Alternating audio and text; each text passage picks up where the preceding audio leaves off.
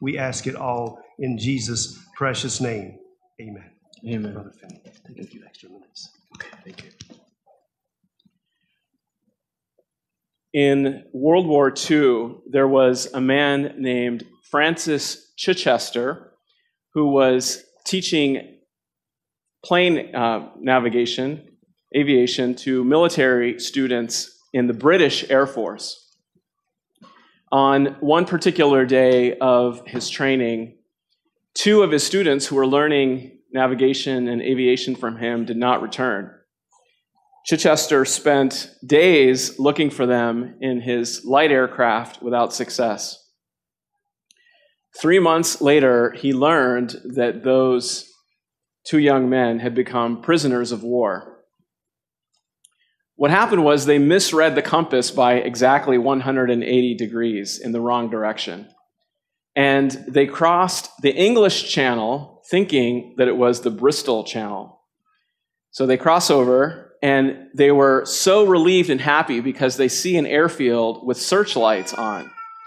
So they land on this runway, they open the hatch, and the next thing they know, they see a rifle from a German soldier in, into their cockpit as they had landed on a German airstrip. They misread their navigation. Indeed, getting lost is something that's very deep in our psyche. There's a lot of fairy tales, like Hansel and Gretel, about getting lost. Probably a lot of us, when we were children, worried about getting lost in a store or getting lost in the wilderness.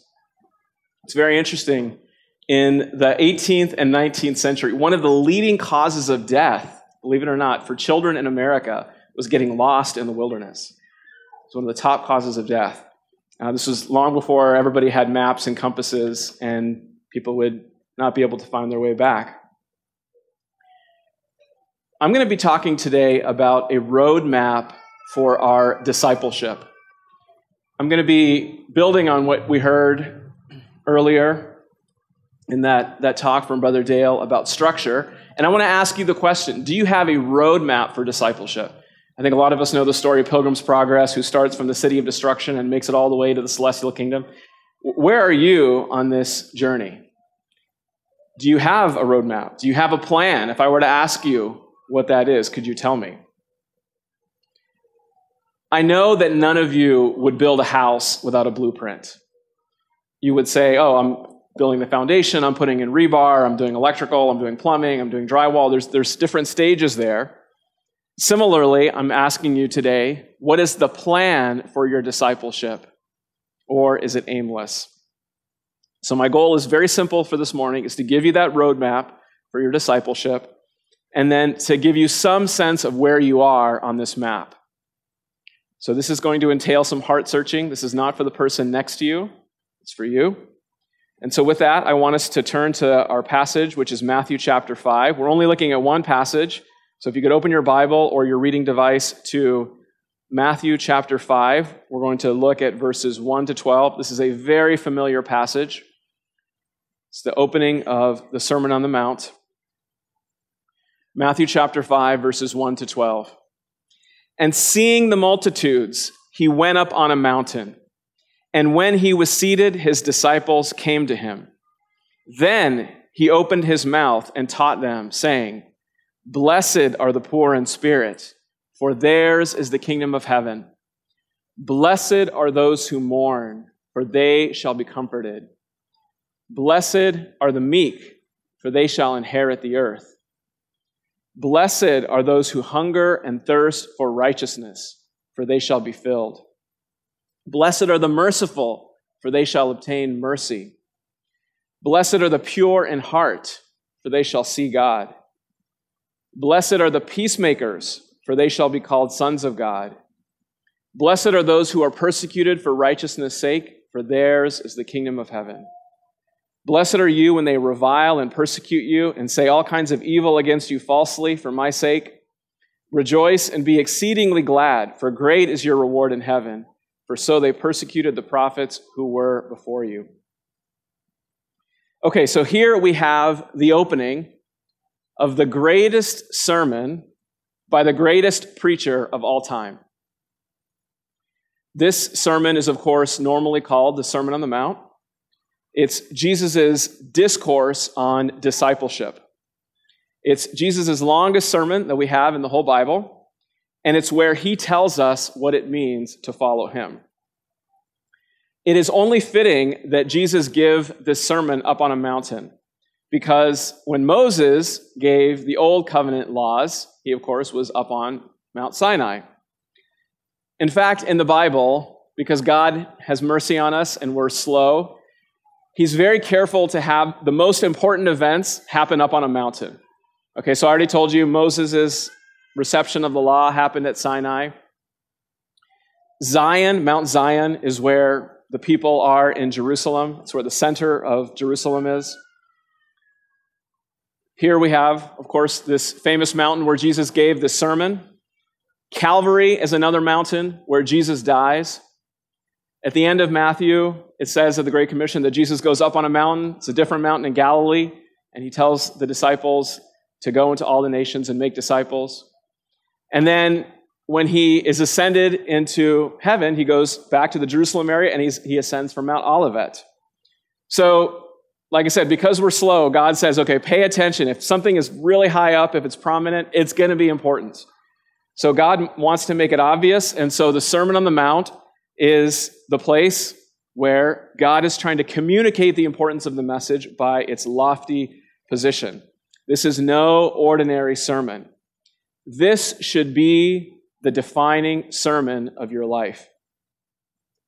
Now, I'm going to walk through just these verses, verse by verse here, and hopefully bring out some new thoughts for you here and give you this roadmap. Now, verse 2 might seem a little strange. It says, He opened his mouth and taught them. Now, a lot of people, they read that and they think, Isn't that redundant? Like, why would you say open your mouth and teach them? Like, I'm obviously opening my mouth when I'm teaching you, right?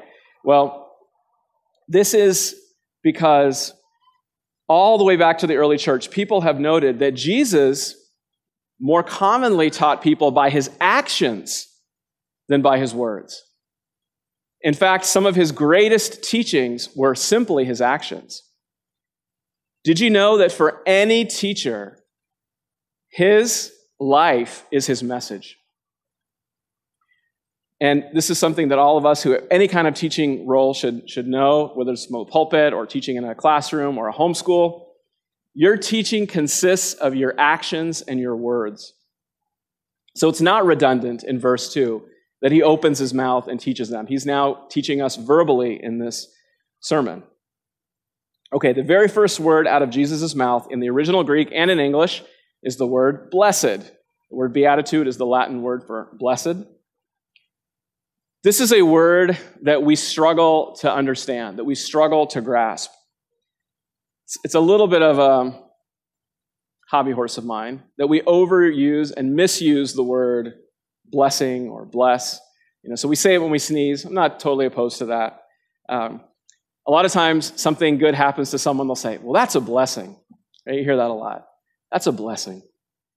Uh, I notice it's become popular, although it's kind of fading now, that people will, in their emails, they'll say instead of sincerely, blessings, comma, and then you write your name. You've seen that, right? A lot of people do that. Um, in the world, you'll see someone snap a picture of them drinking a margarita on the beach. They'll post it on some forum, and then the hashtag will say blessed. Uh, in the cabin where I'm staying right now, there's a bunch of like Etsy type, I, don't know if they're from Etsy, but they look like from Etsy type type things up on the wall that have like blessing and blessed and all that. And it just it doesn't feel like a very powerful word. It feels more quaint than powerful. The word has been very diluted or misused. I've even seen some translations, there's a couple of modern translations that actually say happy instead of blessed. So they'll say happy are the poor in spirit, and they use happy all throughout. Now, I don't like that translation. I think that's a mistake because it almost seems like Jesus is making some kind of description, some sort of factual description about where people are at. Blessings are totally different, totally different. They are not just descriptions.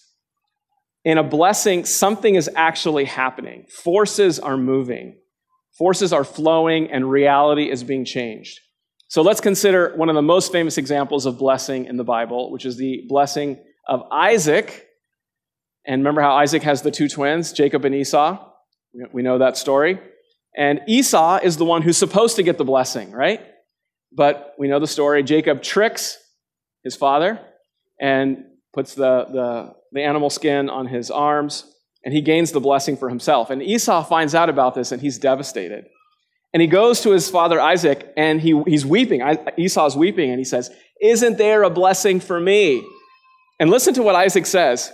Isaac answered and said to Esau, Indeed, I have made him your master and all his brethren. I have given to him, a, to, I have given to him as servants with grain and wine. I have sustained him. What shall I do for you now, my son? And Esau continues to weep there. Did you notice what happened in Isaac's mind when he blessed Jacob? It wasn't just a description of reality. He believed that he changed reality with that blessing. And Esau's devastated because Esau thinks like there's nothing and he's right. The blessing's gone. It's already been transferred to my brother. What's left for me? Blessings, like I said, are not just descriptions, they are reality changing pronouncements. People have used analogies like a judge declaring guilty or innocent. When I was in, uh, when I was a teenager, my grandfather, who lives in South India, who lived in South India, was old and sick, lives in a state called Kerala. And he gave a call to my parents and said, I think I'm about to die. I want to give my final blessing. And he said, Would Finny be interested to get that blessing? I was in college at the time, and this was no small feat. This was in California. But I had enough sense from the Bible to know that I needed to drop everything, jump on a plane, fly all the way to India. And I got to this small village where my grandfather lived. I knelt down there. He put his hands on my head. He prayed this beautiful prayer in Malayalam, and, which is the language he speaks. And he gave me his final blessing. It was a very, very moving experience. Now, let's think back to what I just mentioned about the blessing of Isaac. If the blessing of Isaac could confer that kind of reality changing power, let's pretend for a moment, or let's pose the question how much greater would be the blessing of Jesus? Let's say, let's say it wasn't me standing up here, but let's say Jesus in the flesh was up here. And he said, All right, everyone, after this meeting, I'm going to stand here and I'm going to put my hands on you and bless whoever wants a blessing from me, Jesus. I hope the line would stretch all the way back to the very end of Roxbury and not a person would neglect that. I hope that, right? Would you all line up even if it was an hour wait? I hope you would. Well, what we see in the Beatitudes are how Jesus is telling us how he's going to bless us. This is the way that if you want Jesus to bless you, this is what you're going to follow. The Beatitudes are the core, the very core of what it is to be blessed by God. So we should be reading this with bated breath. We should think, wait a minute, I get to get the blessing of Jesus, not just Isaac or some human, but Jesus himself. Okay, I want us just uh, to sing the song before we go on. Let's sing the song, Lord, Prepare Me to Be a Sanctuary. Lord, prepare me to be a sanctuary.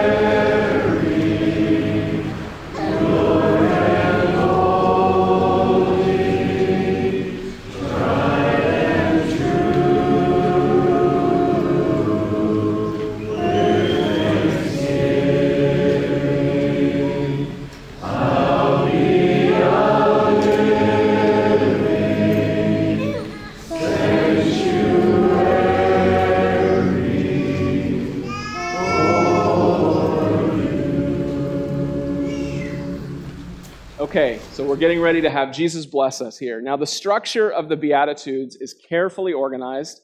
I don't have enough time to go into this in a lot of details. There's seven Beatitudes that we do, and then the eighth Beatitude is something that happens to us. Number one and number eight end with the same blessing, for theirs is the kingdom of heaven. And interestingly, the first four use alliteration. In Greek, they all start with the letter P. Someone has tried to render this in English, did a decent job. David Garland, who says, Blessed are the poor in spirit, the plaintive, the powerless, and those who pine for righteousness. He was trying to capture the rhythm of what Jesus was actually saying there. This is a sermon that was given with a high degree of intent for us to remember everything about it. The first four Beatitudes contain exactly 36 words. The second four blessings contain exactly 36 words. And these are not unrelated sayings, it's not some jumble here. One writer, Maclaren, says it this way there is a vital connection and progress in them. The jewels are not flung down in a heap, they are wreathed into a chain. I like the way that Spurgeon describes it. He says, Our Lord has, in a few telling sentences, told us all about it without using a solitary, redundant word or allowing the slightest omission. The seven golden sentences, the first seven Beatitudes, are perfect as a whole, and each one occupies its appropriate place. Together, they are a ladder of light, and each one is a step of purest sunshine. They are the natural sequel and completion of each other. I love that expression, ladder of light. Okay, so we just heard about structure. This is Jesus' structure for discipleship. Now, in the secular world, I think we all know, there's this concept of making steps, and you recognize those steps, and you assess progress at every step. So, in the medical world, for example, uh, at the end of the second year of medical school, you take an exam called Step One of the boards. It's a 12 hour test, or at least it was when I took it. 12 hour test and they want to know that you know all the things that you've learned in your first two years of medical school. Then you do what are called shelf exams after you do radiology and neurology and pediatrics, testing you on each of those disciplines. And then you take step two, which is a nine hour exam. Then you do your residency, and then you do an 18 hour exam. I mean, it's, it's intense, and you can't go on. You will not get your license unless you pass every single one of those. Someone who's an electrician was telling me they have something not as elaborate, but something like that in the electrical world. So here, Jesus is giving us levels of discipleship. These seven Beatitudes are the ascent up God's holy mountain. So let's look at each one in turn. Beatitude number one says, Blessed are the poor in spirit, for theirs is the kingdom of heaven. Poor in spirit basically means humble. It's, it's a way of expressing humility. And I'm very glad that Jesus starts with humility. He starts with something which is like the ABCs. He doesn't start with calculus, he starts with the ABCs. The question is, is why doesn't he say, Blessed are the humble? That would be a natural thing to do, right? This is where the greatest teacher of all time shows us his master skill. What he does is he gives us a picture that we can better understand what humility is like. Now, I love pictures more so than abstract ideas, so Jesus' teaching suits me well. And the picture is simply this picture an utterly destitute person who has nothing, maybe just a few scraps of clothing on their body, but that's it. The Greek word that's used here designates not just an ordinary poor person, but the absolute most destitute person that you can picture. I remember when I was a young boy in the 1980s. I was in India and I was with my parents. We were riding on a bus through, back then it was called Bombay, now they call it Mumbai. And we were riding on this bus and it was monsoon rain season. I don't know how many of you ever experienced monsoon rains, but they're nothing like what you have in America, what we have in America. They are intense, just torrential, just goes on and on and on, these monsoon rains. Well, we were on this bus driving from one part to another part of, of of Mumbai.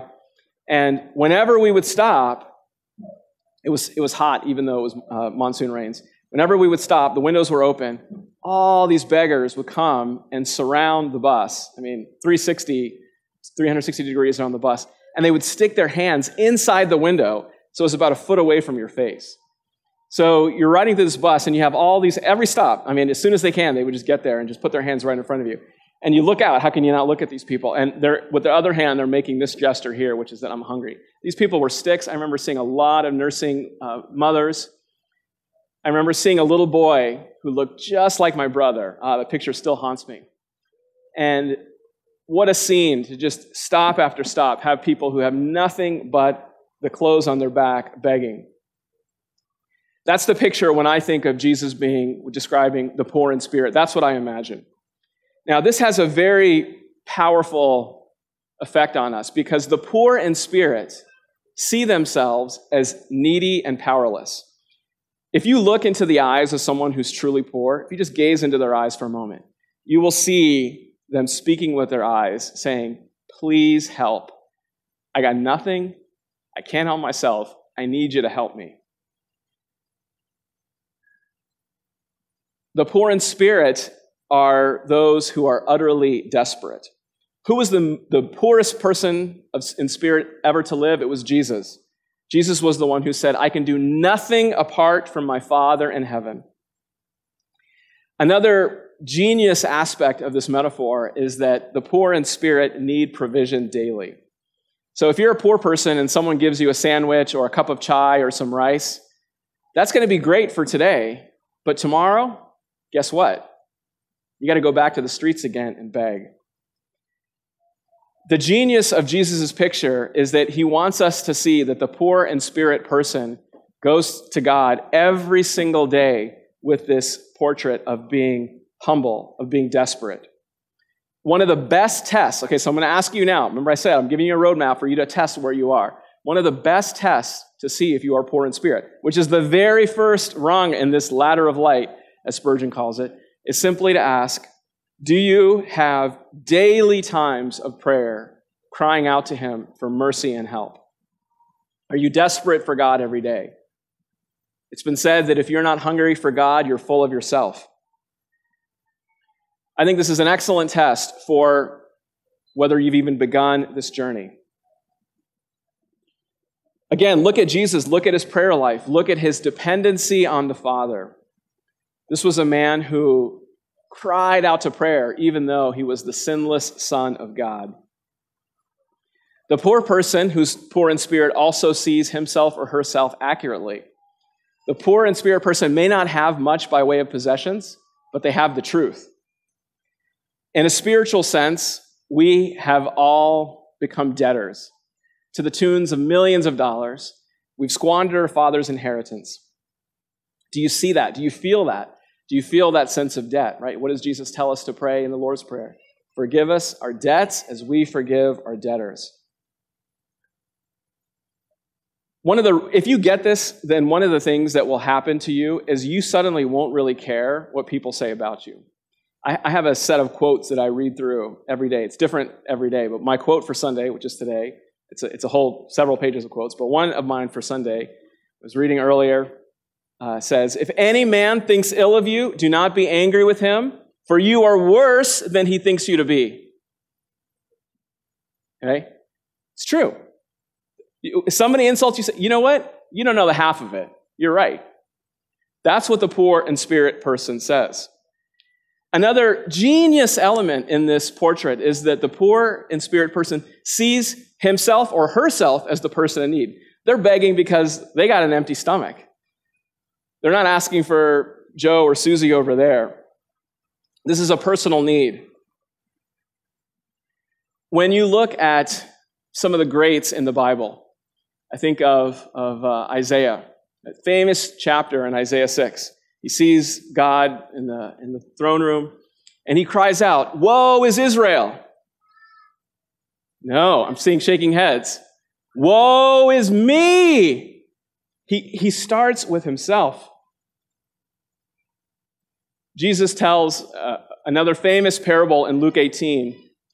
He talks about a, a, a Pharisee and a tax collector. And the Pharisee goes and I love how the New King James renders it. He says the Pharisee stood and prayed with himself. It's like praying to himself, kind of interesting picture. God, I thank you that I am not like other men, extortioners, unjust, adulterers, or even as this tax collector. I, f- I fast twice a week. I give tithes of all that I possess. And the tax collector, standing afar off, would not so much as raise his eyes to heaven, but beat his breast, saying, God, be merciful to me, a sinner.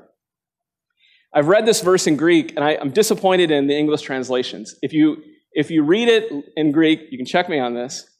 What that literally says, what this tax collector says, is he says, God make atonement for me, the sinner. The sinner. It, it's like in his mind, he's the only sinner. Isn't that amazing? God make atonement for me, the sinner. In back in India, no, true story. This there was a, a family who the the father was was was a drunk. He would waste a lot of the, the family's money. He was he was cursed. He was come late. Lots of problems. Very very dysfunctional home because of him. And his wife had converted to Christianity, and he knew that his wife, as part of her part of her day, would spend some time in prayer. And so this this uh, man, this this man who was not such a good character, he he decides one day to, to spy on his wife and listened to her pray.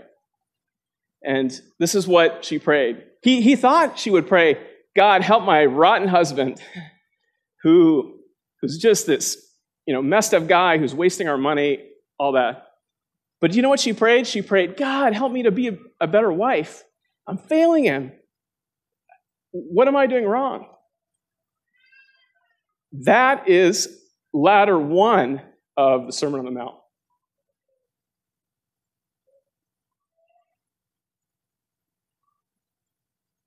Most people, I, I say this to in, in, all in all love, I truly believe this. Most most people, most churches of all stripes fail to really practice the Sermon on the Mount, which is a tragedy. But there's something that's even a greater tragedy than that, which is seeing it more for other people than for yourself. If you see the Sermon on the Mount more for the person next to you or for somebody that you're having problems with back in your home church, then the sermon becomes ugly. If you read this and think, wow, such and such really needs to hear this, you're not poor in spirit. You're haughty in spirit. You may be able to live some of the externalities of the Sermon on the Mount, but if you don't have the the, the, the foundational step, this poverty of spirit, you're going to be legalistic, ugly, and condemning. I've seen this all too often. They say that holiness without brokenness produces legalism. We can judge and condemn and not ourselves be healed or have compassion.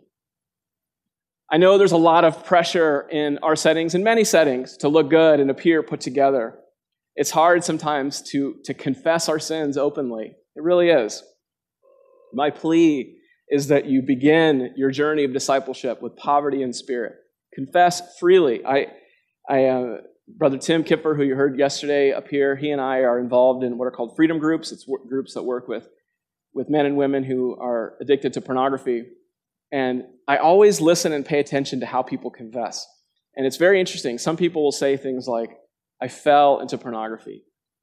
And even that language, I fell into it. It's almost like they're a victim, right? Like, oh, I was just walking along and there's this hole and I just fell into it. And our language, pay attention to the language that you use, that most people use. It's very blame shifting. We tend to, to minimize our sins even when we confess.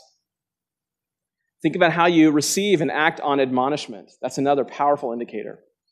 Okay, I'm going to go very quickly through the remaining seven so I can illustrate more high level principles. The next beatitude is Blessed are those who mourn, for they shall be comforted. So the first step is, is knowledge of our, of, our, uh, of, our, of our self, of our poverty. The second step is to translate that into our hearts, to have it be something that is a, a sacred grief, that is not just a head knowledge, but it is something that we express in our hearts we grieve. I, I worry. I, I genuinely worry when I see people who don't have a well of tears that flows. You know, Jesus weeps often. I mentioned on my Friday night message that Jesus' prayer life was characterized by loud cries and tears, Hebrews 5 7. He weeps publicly. He weeps over Jerusalem. He weeps over Lazarus. He weeps. The psalmist says, My eyes shed streams of tears. Jeremiah is called the weeping prophet. Nehemiah weeps, Paul weeps. Are you someone who is known as a person who mourns? Or are you the jokester or the comedian? People confuse mourning with moping. There's a world of difference. Moping is self pity, it's not hope in God. The person who mourns is moved to action. The person who mopes is stagnant and, and despairs. Now, one of the, the tests here, I gave you one already, was that are you a person who weeps? You should be weeping in your prayers. You should be weeping in front of others. You should be weeping as you as you speak with others? If not, there's something wrong. Your heart is still stony. One of the other tests here, uh, Paul describes this in 2 Corinthians, where he talks about godly sorrow versus worldly sorrow. If you are struggling with the same sin again and again and again, that means you're in worldly sorrow. You have not attained this rung of the ladder yet. The third beatitude is Blessed are the meek, for they shall inherit the earth. Now, the word meek, a lot of people confuse that with, with being weak. Right? They, they think meek and they think, ugh, I don't know if I want that. They think meekness is weakness. There was one individual, Bill Farmer, who, who, uh, who has a newspaper column, and he, he published an article by J. Upton Dickson, who founded a group, of, uh, a group for meek people and called it Doormats. Doormat stands for Dependent Organization of Really Meek and Timid Souls. Okay? D O O R M A T S. Dependent Organization of Really Meek and Timid Souls. And you know what their motto was? The meek shall inherit the earth if that's okay with everybody. And their symbol was the yellow traffic light. Now, everybody here, when they're hearing Jesus, is thinking, is this the Messiah? And I think a lot of people, when they heard this, they would have just said, like, oh no, no, please no. A meek Messiah? I want a conquering Messiah. Give me a Hercules. Give me a Samson. Give me a warrior who can go out and shatter some skulls of some Romans. That's what I want. But in, instead, Jesus shatters the expectations of their world to bring in the new world order that he is inaugurating. He's going to bless the gentle. Instead of telling people to hunger and thirst for power, he's going to tell them to hunger and thirst for righteousness. The picture that I like to use when I think of, of meekness is a muscular stallion. So we've all seen very muscular horses, right? And, you know, that stallion that's untamed, it kicks people and it's terrifying. You don't want to get near it. But now somebody tames that horse. And it's still a muscular horse, but now it can be ridden, it can pull things. Is the stallion any weaker now? No. It's simply having its strength in control. So meekness is not weakness. What is it? It is power under control, strength harnessed for service. Meekness is primarily something that we exhibit one with another. It's an interpersonal virtue. It's almost like horizontal humility. It entails being gentle, submissive, forgiving. Many of you know the word Gelassenheit. I think Gelassenheit is very close to this word meek here that Jesus uh, speaks to. Uh, it's being a team player. I mentioned on Friday night that one of the cancers of the world today is individualism. Way too many people, way too many people are wise in their own eyes, and they don't know how to submit to a body. All right, the fourth beatitude is Blessed are those who hunger and thirst for righteousness, for they shall be filled. I'm not going to spend too much time on this one. Jesus is going to describe that righteousness in a lot of the Sermon on the Mount. It's the, the bulk of the Sermon on the Mount. I will just say this that whether you are 18 years old or 80 years old, you should be hungering. The, the, this is something that is an ongoing process. You should be still to that your dying day thinking, what new heights do I need to stretch for? We have never arrived. You need to be, always be pushing, hungering, thirsting, reaching. The fifth beatitude is Blessed are the merciful, for they shall obtain mercy. Now, the word mercy in English, we often think about that as withholding punishment. But the Greek is very different than that. It's a much bigger word. It's the word that Jesus uses when he describes the Good Samaritan. So the, the Good Samaritan didn't just withhold punishment, he actually actively loved this individual who was robbed and beaten up. This is a, a the, the concept of compassion and kindness are very closely bound up with the biblical notion of mercy. This is a great test. I can tell you right now, certain people are really good at loving people and showing compassion and kindness, and a lot of people are just not. They don't look people in the eyes. They haven't really studied how to love people well, how to serve people well, how to care for people. It is a rare skill. Study people who care for people well. I, I, without naming a name, I'm, I'm always so blessed every time before I come up here. There's one brother here who always walks up to me and prays for me before I come up and, and speak. And it just it touches me because I think, wow, He's thinking of me. He's, he's concerned for me. That is a great skill. Ask three or four people who know you well how good am I at loving people well? The sixth beatitude is Blessed are the pure in heart, for they will see God. Now, a lot of people, when they think pure in heart, they think of sexual purity. That's not what's meant here. Purity in this sense, and I have a lot of online messages, by the way, that go through the Beatitudes very slowly, almost an hour per, per line if you want to go and, and unpack this there. But just to give you the conclusion here, purity here refers to the opposite of being unmixed, or really the opposite is double minded.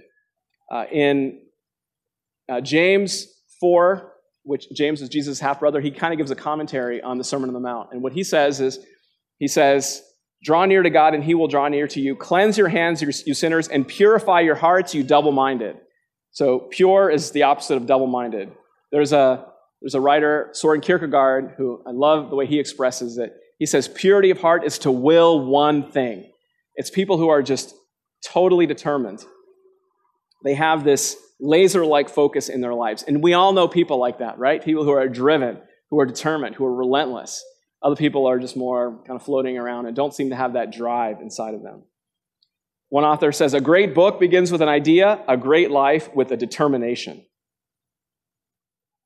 Paul expresses this well in Philippians 3. He says, I do not count myself to have apprehended, but one thing I do, forgetting those things which are behind and reaching forward to those things which are ahead. I press toward the goal for the prize of the upward call of God in Christ Jesus. Paul was a man who was driven. He was pure in heart. He had a singular passion to see the gospel advance to all the nations. Some people struggle with being indecisive. Oh, should I do this, this, and just, oh, this way, that way. If you are indecisive, you are not pure in heart. They, people who are indecisive will struggle with all kinds of doubt, all kinds of, of issues that will plague you. All right, number seven. Blessed are the peacemakers, for they shall be called sons of God. Okay, there's two dimensions of peacemaking. One, one way to understand peacemaking is conflict resolution. It's just helping people to, to not fight. So there are people who go into conflict ridden areas and mediate there. That's, that's great. The second uh, dimension of peacemaking is make, having people make peace with God. Okay, so there's peace with one another and there's peace with God. The other name for that is evangelism. Both of those are built into peacemaking. There are two common mistakes with peacemaking, evangelism in particular. And I'll, and I'll, I'll grossly oversimplify here and say that generally speaking, older, when I say older, greater than 40, tend to struggle with apathy. And they've really lost the ability to dream that they will evangelize and they will be effective. And they've sort of given up. The other error is to be so excited and zealous, but not necessarily having the right heart qualities or preparation. So some people are like, evangelism, evangelism, evangelism, we got to evangelize the world. But, but they haven't actually done so well at, at their own hearts and their own personal discipleship. If you don't have poverty of spirit, which was, which was the first level, you're gonna, your evangelism is going to be like the Pharisees. Remember what Jesus told the Pharisees? The Pharisees were very evangelistic, by the way. Uh, he said, You travel over land and sea to make a single convert and then make that person twice a child of hell as you already are. So they were evangelistic, but they themselves were not in the right place to be effective in their evangelism. You have to be someone who mourns, that second ladder. Uh, one, one person says it well winners of souls must be weepers for souls. if you're an evangelist and you're not a team player, you're not someone who's meek, the third wrong. You're going to be setting up your converts for failure because they're not, they're not going to be integrated into the body. You're going to be a solo, out, a solo person out there. The final beatitude is the eighth one, which says, Blessed are those who are persecuted for righteousness' sake, for theirs is the kingdom of heaven. Now, the structure of the Beatitudes, as I said, is seven character blessings plus one consequence blessing. And I've given you tests here. By the way, I'm going to say one more thing on the peacemaking one. So, this is a, a huge generalization, and I, I don't mean this to be taken in any kind of a hard and fast rule. But I will say this, having seen this many times with many individuals in many settings, that normally speaking, if someone is committed to God, if they're on fire, if they've got those first six ladders intact, they will normally be leading about one person to the Lord per year. I think that's a common, that's what I've noticed in my observations, and historically people have noticed that as well. If you, don't, if you look around whatever congregation you're from and you see a bunch of blanks, it's time to really be honest, humble yourself, and say, we got to go back to the basics here, maybe even back to rung one. It's not a, like I said, that's not a hard rule, but it's a good rule of thumb. Okay, blessed are those who are persecuted for righteousness' sake, for theirs is the kingdom of heaven. Notice he does not say, Blessed are you if your ancestors were persecuted 400 years ago. This is something that has to be reclaimed every single generation.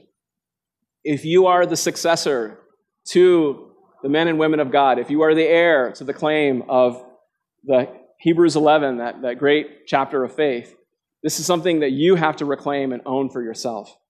Suffering and persecution are the badge of faith. You know, even in, in Acts, when they, they get beat up for preaching Jesus, they go back rejoicing. They're like, yeah, great.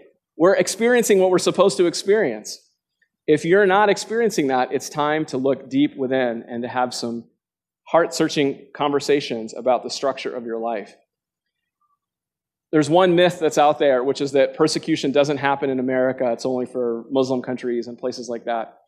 Yesterday, I went over to David Brousseau's house. I'm not sure if he's here, but I was at David Brousseau's house for breakfast, and we were talking about this topic, and I was telling him about my Friday night message where I, I mentioned that verse that I find very convicting in Romans 8, where it says, For your sake we are killed all day long. And I said, Wow, we're going to quote this. We got to do some real heart searching here because that doesn't necessarily feel so true to the experience that we're having. And he said something that, that really struck me. He says, When I was a Jehovah's Witness, he said, those were some of our favorite verses. We camped out on those verses because that was our experience.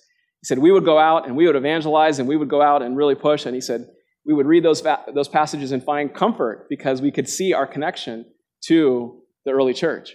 And this is in America. He did not live in some foreign country. Uh, I have friends from other groups, not JWs, that experience these things in America. And what I've consistently noted, consistently noted, the groups that are actually experiencing persecution are ones that are active, intentional, and organized about evangelism. If, if you're not, you probably won't. If you are, you will, um, in, a, in a disciplined manner. In America, by the way. And I can tell you stories there. In the interest of time, I won't. Okay, so there we have it. Jesus' seven plus one Beatitudes that should be the roadmap of your discipleship. Where are you? Now, I, I want you to just, again, think carefully with me and be brutally honest.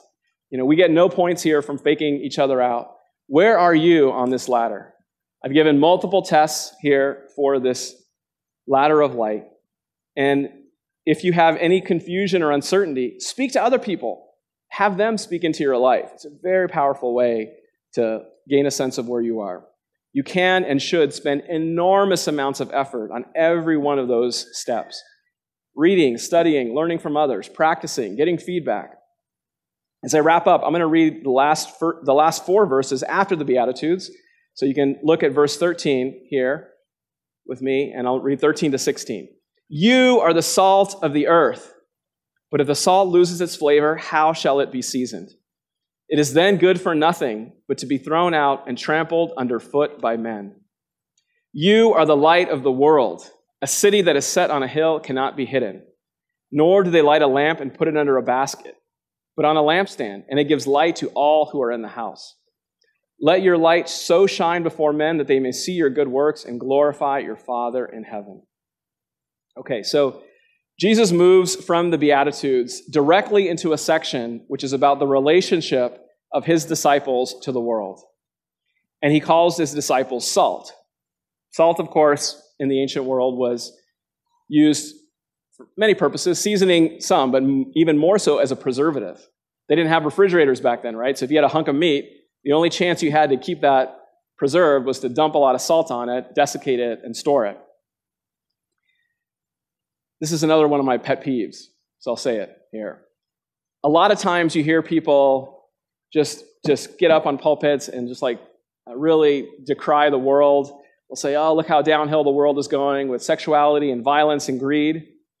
And you can, you can score some points. You can get some people to amen that, right? When you can, you can slam the world about all kinds of things. But do you know that every single one of those declines is actually a failure of the church? Jesus says here, salt, the, the church was supposed to be what, what retained goodness, and then in the second stage, winning people over as a function of the light that it exhibits. It, it really, really irks me when I hear that because the, the church has failed to be salt. It, that would have halted the rotting. We should constantly be asking the question how have we failed? Notice what Jesus says too. He says, if the salt does not do its job, what, what will happen to that salt? It's going to be cast out. That's serious language there. It's going to be cast out, it's going to be trampled.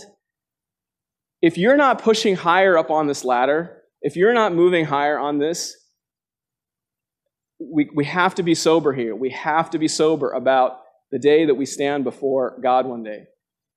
One of my life verses, I often quote this at KFW, it's 1, 1 Thessalonians 2 19 to 20, where Paul says, For what is our hope or joy or crown of boasting? Paul is writing to the, to the Thessalonian church. Is it not indeed you before our Lord Jesus at, at, at his coming? For you are our glory and joy. He's basically saying there, What's my hope? What's my joy? What's my, what's my boasting? How do I know that when Jesus comes one day that I'm going to have a ground to stand on? He says, It's you, Thessalonians, my disciples that's my hope, my joy, my crown of boasting. If you've got a bunch of blanks in your life, what is your hope? What is your joy? What is your crown of boasting? I say these things not to terrorize or to, to provoke needless fear, but to ask us to search our hearts. This has historically been a weakness in our communities. Spurgeon says it well again. He says, The Bible is not the light of the world, it is the light of the church. The world does not read the Bible, the world reads Christians. You are the light of the world. Very true.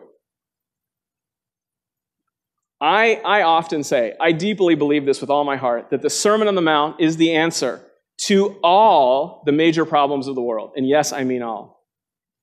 The Sermon on the Mount, we didn't read it all, but the Sermon on the Mount is the answer to all the world's major problems. Think about it war, divorce, broken families, poverty, sex trafficking, it's all right there. It's all right there. We could, we could fix it all if the church will, will, were to simply live it out. I'm going to close with reading a story here. I read this story to myself and to others about half a dozen times a year. Some of you may have heard me read it. Even if you have, it's good to have us, have us meditate on this. It's a true story about a nine year old girl who lives in northern Nepal. Her name is Maliha. A charming slave trader deceived Maliha's poverty stricken single mother when he promised to help provide for their family by helping Maliha get a well paying job in the city at the bottom of the Himalayan mountains. He promised to send the money she earned back to the mother and to bring Maliha back to visit her family at least once a year. The mother reluctantly agreed, but the man did not keep his word.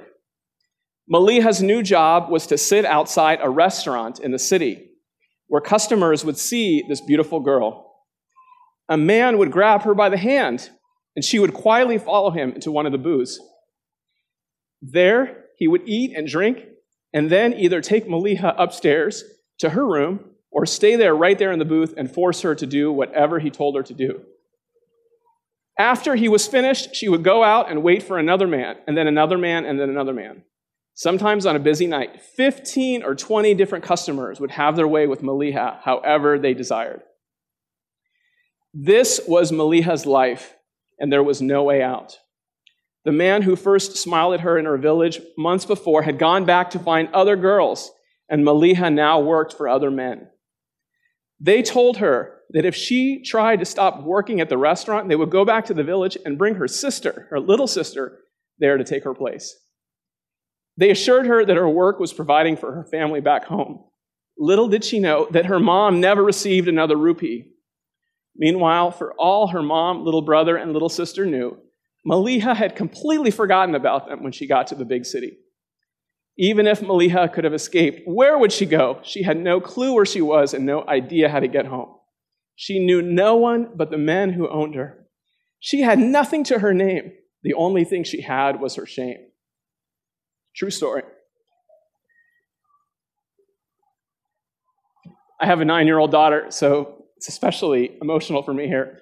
But This is an example of the church's failure. Why is Maliha in this predicament? Because of us. That's the answer. I, I, plead with you all consider deeply the words of the Beatitudes. Consider deeply this notion of what it is to be a true follower of Jesus. The Sermon on the Mount, again, has the answer to all of the world's major problems. The only question is if we will rise to the occasion and practice biblical discipleship. Let's close by, again, singing the song, Lord, prepare me to be a sanctuary. Lord, prepare me to be a sanctuary.